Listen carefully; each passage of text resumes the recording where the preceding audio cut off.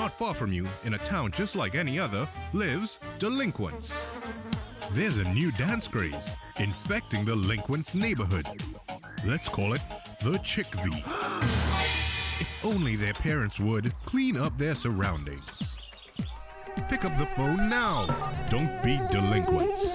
Protect your neighborhood from Chick and dengue. Report these criminals via the Insect Vector Control Division. Under the law, any property that's a breeding site is an offense and they will be fined or face time in prison. Call the IVCD today. A message from the Ministry of Health.